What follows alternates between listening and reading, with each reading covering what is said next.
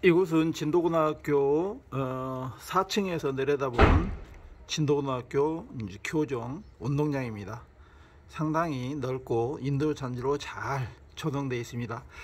저 앞에 있는 것은 이제 진도군에서 예, 설치한 수영장이 되겠습니다.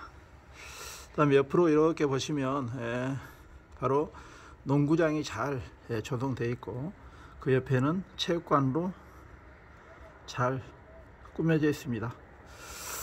그리고 이 저 이 교정은 상당히 저 앞에 있는 예, 산과 어울려서 아주 멋진 교정을 예, 보여주고 있습니다.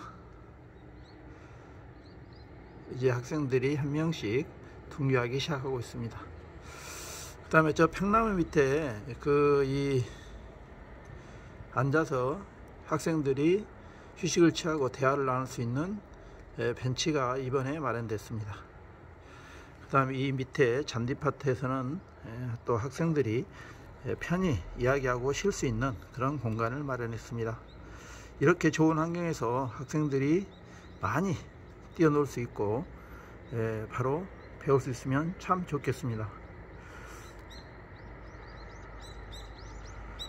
정말 아름답고 시설이 매우 좋은 학교인 것 같습니다.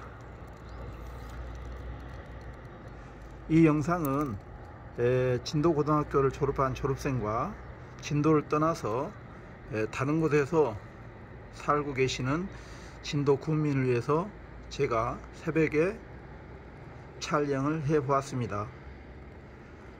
많은 추억거리를 되새길 수 있는 영상이 되면 좋겠습니다.